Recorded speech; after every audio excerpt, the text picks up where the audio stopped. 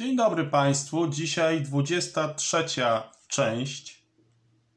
23 część serii Jezus Chrystus przyjdzie znowu. Jezus Chrystus przyjdzie znowu.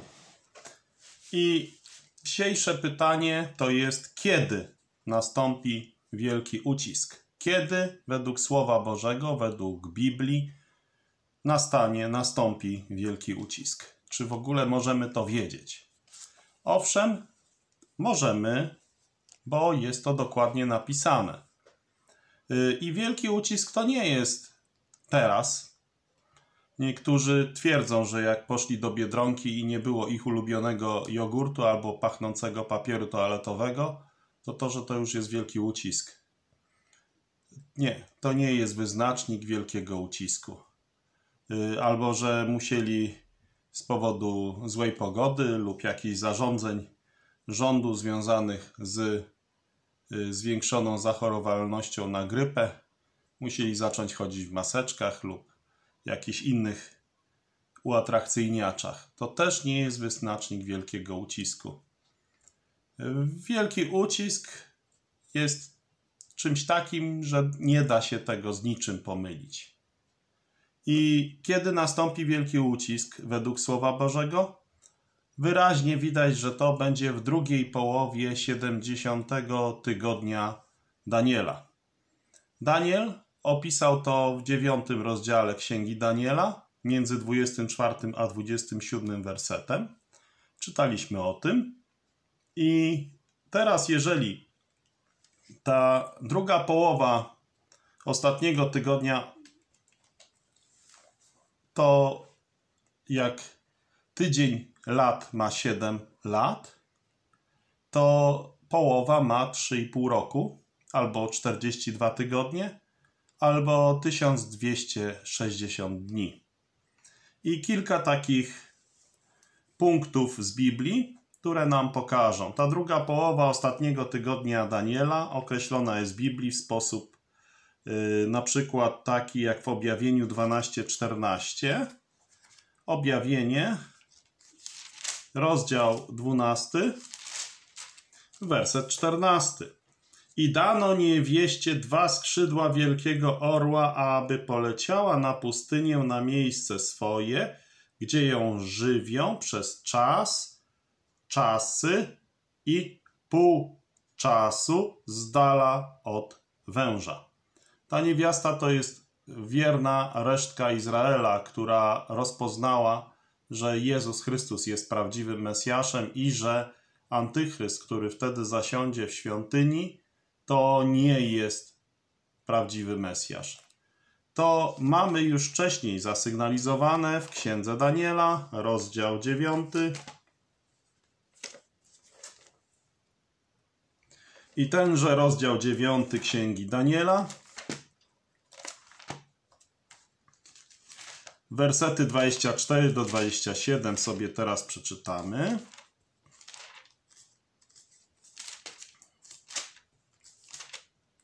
Daniela 9 rozdział 24 do 27 wersetu 70 tygodni wyznaczono Twojemu ludowi i Twojemu miastu świętemu, aż dopełni się zbrodnia. Przypieczętowany będzie grzech i zmazana wina i przywrócona będzie wieczna sprawiedliwość i potwierdzi się widzenie i prorok i najświętsze będzie namaszczone. Przeto wiedz i rozum, odkąd objawiło się słowo o ponownej odbudowie Jeruzalemu, aż do pomazańca księcia jest siedem tygodni i sześćdziesiąt dwa tygodnie. W ciągu sześćdziesięciu dwóch tygodni znowu będzie Jeruzalem odbudowane z rynkiem i rowami miejskimi, a będą to ciężkie czasy. A po 62 tygodniach pomazaniec będzie zabity i nic nie będzie miał. Lud księcia, który wkroczy, zniszczy miasto i świątynię, potem nadejdzie jego koniec powodzi i aż do końca będzie wojna i postanowione spustoszenie. I teraz uwaga.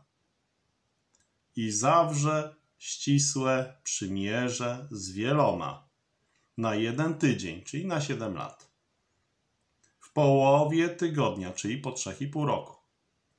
W połowie tygodnia zniesie ofiary krwawe z pokarmów, a w świątyni stanie obraz obrzydliwości, który sprawi spustoszenie, dopóki nie nadejdzie wyznaczony kres spustoszenia. I te drugie 3,5 roku to jest właśnie tenże okres, który nazywamy e, wielkim uciskiem.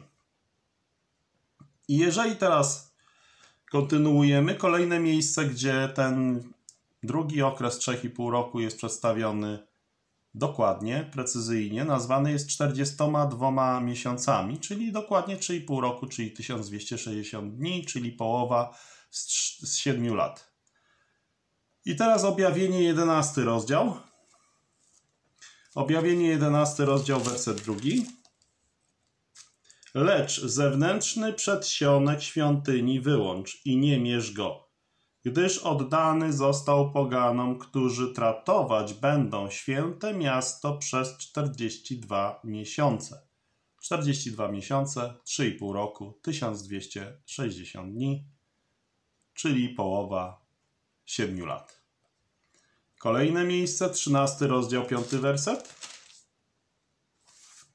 I dano mu paszczę mówiącą rzeczy wyniosłe i bluźniercze. Dano mu też moc działania przez 42 miesiące. 42 miesiące, 3,5 roku, 1260 dni, połowa z 7 lat ostatniego tygodnia Daniela, który zacznie się w momencie pochwycenia Kościoła. Wszyscy chrześcijanie wtedy zostaną zabrani z ziemi i przez te 7 lat będzie czas już bez chrześcijan. Jeśli nie lubisz chrześcijan, no to oczekuj na ten czas, bo wtedy ich już nie będzie. Ale na ziemię spadną wtedy sądy, takie, których nie było od początku świata i nigdy potem nie będzie, aż do końca ziemi, kiedy ziemia i niebiosa z trzaskiem przeminą i spłoną. Kolejne określenie znajdujemy w objawieniu 11 rozdział. Trzeci werset. I dam dwom moim świadkom moc i będą odziani w wory, prorokowali przez 1260 dni. 1260 dni to jest 3,5 roku, 42 miesiące, czyli czas, czasy i pół czasu. Połowa z 7 lat ostatniego tygodnia lat Daniela, opisanego w 9 rozdziale Daniela, od 24 do 27 wersetu. I teraz widzimy wyraźnie, że podczas pierwszych 3,5 roku ostatniego tygodnia Daniela będzie tak, że będą ziemię dotykały różne sądy Bożej opatrzności, tak? czyli takie sądy, które są od Boga, głody, wojny, i tym podobne rzeczy, opisane między innymi w objawieniu Jana, szósty rozdział. To widać wyraźnie w objawieniu Pana Jezusa Chrystusa, które dał mu Bóg, które zostało przez Jana nam dostarczone. I widziałem, jak baranek zdjął pierwszą z siedmiu pieczęci i usłyszałem głos jednej z czterech postaci, donośny jak grzmot, mówiący chodź. I widziałem, a oto biały koń, ten zaś, który siedział na nim, miał łuk a dano mu koronę i wyruszył jako zwycięzca, aby dalej zwyciężać. A gdy zdjął drugą pieczęć, usłyszałem, jak druga postać mówiła: Chodź. I wyszedł drugi koń barwy ognistej, a temu, który, który siedział na nim, dano moc zakłócić pokój na ziemi, tak by mieszkańcy jej zabijali się nawzajem, i dano mu wielki miecz. A gdy zdjął trzecią pieczęć, usłyszałem, jak trzecia postać mówiła: Chodź. I widziałem, a oto koń kary, ten, który, ten zaś, który siedział na nim, miał wagę w ręce swojej. I usłyszałem, jakby głos pośród czterech postaci mówił: Miarka pszenicy za denara i trzy miarki jęczmienia za denara, a oliwy i wina nie tykaj a gdy zdjął czwartą pieczęć, usłyszałem głos czwartej postaci, która mówiła: Chodź. I widziałem, a oto siwy koń, a temu, który na nim siedział, było na imię śmierci. A piekło szło za nim i dano im władzę nad czwartą częścią ziemi, aby zabijali mieczem i głodem i morem i przez dzikie zwierzęta ziemi. A gdy zdjął piątą pieczęć, widziałem poniżej ołtarza dusze zabitych dla Słowa Bożego i dla świadectwa, które złożyli, i wołały donośnym głosem: Kiedyż, Panie Święty i prawdziwy, rozpoczniesz sąd i pomścisz krew naszą na mieszkańcach ziemi. I dano każdemu z nich szatę białą, i powiedziano im, aby jeszcze odpoczęli przez krótki czas, aż się dopełni liczba współsług i braci ich, którzy mieli, podobnie jak i oni, ponieść śmierć. I widziałem, gdy zdjął szóstą pieczęć, że powstało trzęsienie ziemi i słońce pociemniało jak czarny wór, a cały księżyc poczerwieniał jak krew i gwiazdy niebieskie spadły na ziemię, podobnie jak drzewo figowe zrzuca figi swoje, gdy wiatr gwałtowny nim począśnie.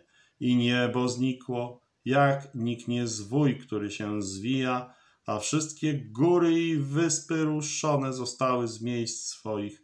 I wszyscy królowie ziemi, możnowładcy i wodzowie, i bogacze, i mocarze, i wszyscy niewolnicy i wolni, ukryli się w jaskiniach i w skałach górskich. I mówili do gór i skał, padnijcie na nas i zakryjcie nas przed obliczem tego, który siedzi na tronie.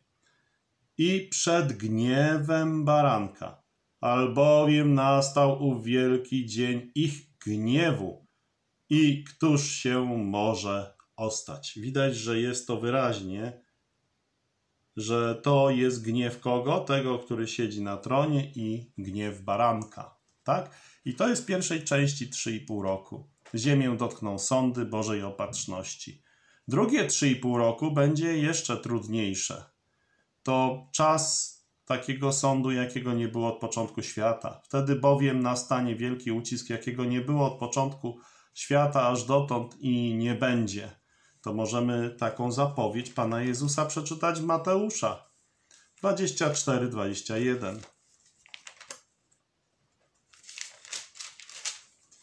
Dwadzieścia cztery, dwadzieścia jeden. Wtedy bowiem nastanie wielki ucisk, jakiego nie było od początku świata aż dotąd i nie będzie. Dokładnie tak. To będzie właśnie ten wielki ucisk, o którym dzisiaj rozmawiamy. I to prześladowanie wyjdzie ze strony. Po pierwsze antychrysta, bo on będzie prześladował wiernych Żydów, którzy rozpoznają, że antychryst nie jest Mesjaszem, tylko że to Pan Jezus jest Mesjaszem. Po drugie, rząd powstałego państwa rzymskiego, tak, to oni będą drugą grupą no i oprócz tego jeszcze bezpośrednio Boży Sąd. Widzimy to w Księdze Objawienia, dokładnie opisane. Nie będę teraz czytał całości, bo to jest od 8 do 19 rozdziału. Przeczytaj na spokojnie, weź Biblię. Apokalipsę świętego Jana od 8 rozdziału do 19, tak żeby sobie dokładnie o tym przeczytać. Dziękuję Państwu za uwagę. Dzisiejszy temat: kiedy nastąpi wielki ucisk, czyli 23 odcinek serii Jezus Chrystus przyjdzie znowu. I zachęcam do tego, żeby oddać swoje życie Bogu, żeby nie musieć na ten wielki sąd, na ten wielki ucisk iść. Bo jeżeli uwierzysz Pana Jezusa i Pan Jezus przyjdzie po swoich, to cię weźmie ze sobą i nie będziesz musiał brać udziału w tym wszystkim. Będziesz uratowany. Jezus Chrystus umarł na krzyżu Golgoty właśnie po to, żeby zgładzić wszystkie grzechy wszystkich wierzących Jemu ludzi. I jeżeli uwierzysz Pana Jezusa, wszystkie Twoje grzechy są automatycznie przypisane Chrystusowi w momencie, gdy On wisiał w trzech godzinach ciemności na krzyżu Golgoty a wtedy Tobie jest przypisana sprawiedliwość Pana Jezusa Chrystusa. Ty w oczach Bożych w tym momencie od tego momentu stajesz się sprawiedliwy, jakbyś nigdy nie zgrzeszył. To Bóg taką ocenę przypisuje Tobie na podstawie tego, że Jezus Chrystus umarł za Ciebie. Więc żadne okoliczności nie są w stanie naruszyć tego doskonałego, wspaniałego zbawienia, doskonałego, wspaniałego Zbawiciela. Uwierz w Pana Jezusa Chrystusa, a będziesz zbawiony. Tak mówi Słowo Boże. Więc uwierz. Uwierz w Pana Jezusa Chrystusa. On za ciebie umarł. Z Bogiem.